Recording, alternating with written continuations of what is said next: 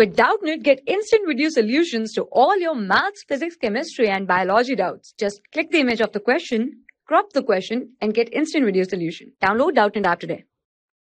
Given question, if A is the matrix of order greatest integer x minus 1 into 3 and B is a matrix of order 3 into greatest integer y minus 2 where this represent greater greatest integer function such that AB is a matrix of order 4 into 5 then see the solution for this.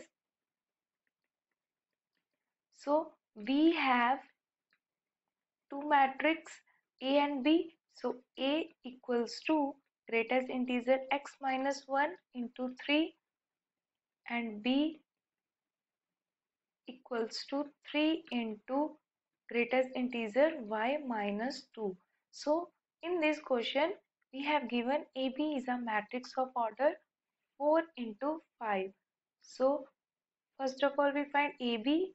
AB equals to greatest integer x minus 1 into 3 into 3 into greatest integer y minus 2.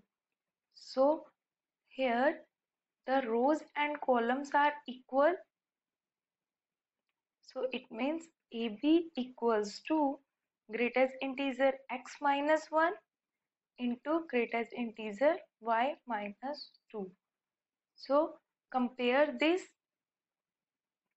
We know that x minus 1 into y minus 2 equals to 4 into 5 because AB is a matrix of order 4 into 5.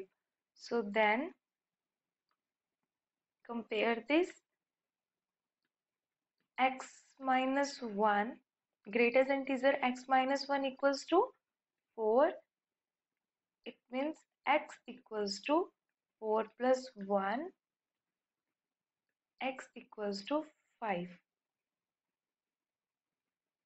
so therefore we say that x minus 1 less than 5 and greater greatest equals to 4 so when we add plus 1 into this and this so we get x add plus 1 then we get x less than 6 greater than equals to 5 so this is the interval of x so x belongs to 5 and 6. 5 is included, x is not included. So this is value of x.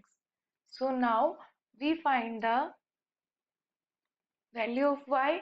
So compare y minus 2 into this. So greatest integer y minus 2 equals to 5 y equals to 7 so here we can say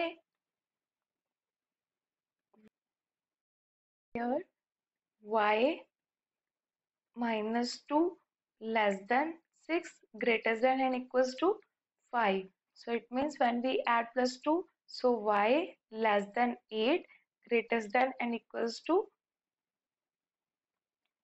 7 so we can say y belongs to 7 8 7 is included it is not included.